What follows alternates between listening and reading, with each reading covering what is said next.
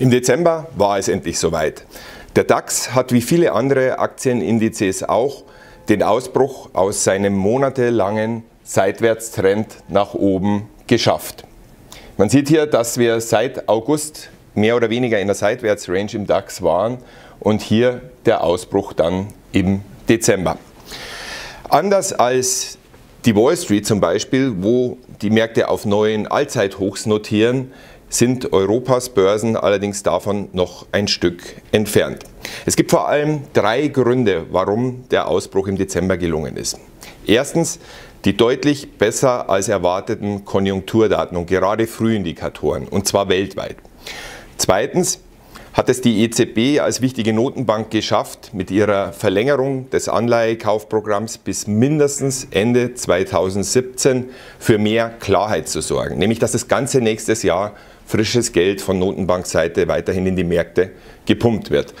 Und drittens werden gerade solche Ausbrüche bringen positive charttechnische Signale, sprich auch von charttechnischer Seite ist, sind einige grüne Lichter aufgegangen, dass die Kurse weiter nach oben tendieren konnten.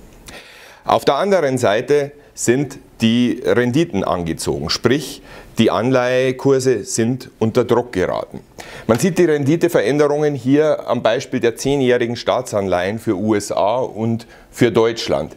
Und was man hier sehr schön sieht, in USA ist der Sprung nach oben sehr, sehr deutlich, in Deutschland ein bisschen geringer, zuletzt wieder ein bisschen abgeebbt, aber die Schere hier der Zinsabstand zwischen beiden ist immer weiter auseinandergegangen.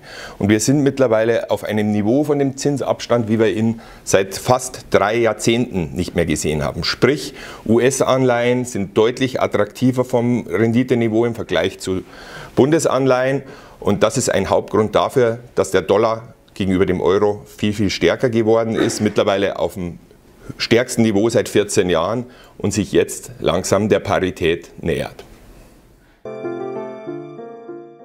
Nach der ersten und einzigen US-Leitzinsanhebung 2016 im Februar, bei der die Fed auch noch drei weitere Leitzinserhöhungen für 2017 angekündigt hatte, vorher waren nur zwei avisiert, rückt jetzt der Jahresauftakt 2017 in den Vordergrund.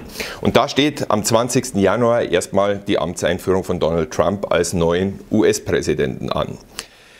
Bisher gehen wir weiterhin kurzfristig davon aus, dass eher noch konjunkturunterstützende Maßnahmen von seiner Seite kommen, was unser positiven View für, die, für den Konjunkturtrend noch unterstützt. In Europa dürfte erst ab März das Thema Politik richtig in den Vordergrund rücken, wenn mit den Niederlanden die erste wichtige Parlamentswahl von einer Reihe von wichtigen Wahlen 2017 ansteht. Ähm, wir werden sehen, was dabei rauskommt. Im Januar sollten aus unserer Sicht aber jetzt erstmal die Konjunkturdaten, die voraussichtlich, wenn man sich die Frühindikatoren anschaut, weiterhin positiv tendieren dürften, im Mittelpunkt stehen. Und dann möglicherweise, wenn dadurch die Börsen relativ gut tendieren sollten oder relativ stabil sein sollten, im Februar dann die Unternehmen in der Bilanzsaison möglicherweise etwas positiver nach vorne schauen, was vielleicht für die Gewinntrends ähm, positiv sein könnte und damit auch den Aktienmärkten weiter etwas helfen könnte. Insgesamt rechnen wir im Jahr 2017 mit einem dynamischeren Wachstum der Weltwirtschaft, sofern sie Populismus und Protektionismus nicht bremsen. Dies können Sie gerne in unserem globalen Anlageausblick für das neue Jahr nachlesen, den wir auf unserer Homepage zum Herunterladen bereitstellen. Wir beleuchten dabei nicht nur die Markt- und Konjunkturtrends des neuen Jahres, sondern wir widmen uns insbesondere auch Themen wie der Globalisierung in Zusammenhang mit den immer mehr unzufriedenen Menschen, auch Themen wie Digitalisierung unter dem Motto Mensch und Maschine und den Folgen daraus für uns alle. Viel Spaß schon mal beim Lesen.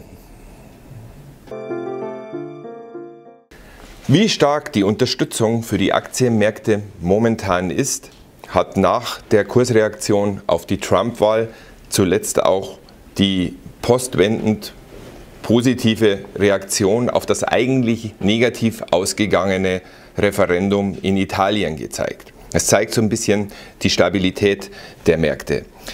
Mit der signifikanten Besserung der Konjunkturdaten und auch der Sentimentseite inklusive der Charttechnik haben wir uns im Dezember entschlossen, unsere Aktiengewichtung wieder hochzufahren auf leicht Übergewichten. Bezüglich Regionen heißt das, dass wir jetzt für Europa und für Japan positiv eingestellt sind, während wir für die USA und für Schwellenländer eher neutral positioniert sind.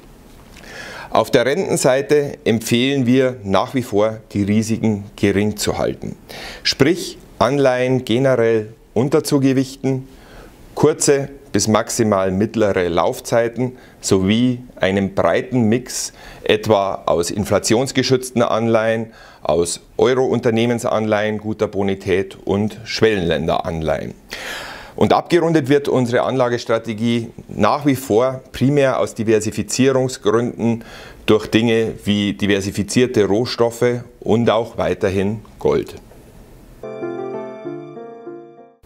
2016 war kein einfaches Börsenjahr, auch wenn der DAX summa summarum im mittleren einstelligen Prozentbereich, wie von uns erwartet, letztendlich zulegen konnte. Wir trauen ihm auch für 2017 eine ähnliche Performance zu. Jedoch vor allem angesichts der politischen Ereignisse, speziell der, der anstehenden Wahlen, wiederum unter größeren Schwankungen. Darauf sollten sich Anleger unbedingt einrichten. Die Vorzeichen für den Jahresauftakt stehen aber schon mal gut. Vor allem von Seiten der Konjunkturdaten ist ein Schwung da, der für einen relativ stabilen Januar aus heutiger Sicht spricht. Doch mehr dazu dann beim nächsten Mal.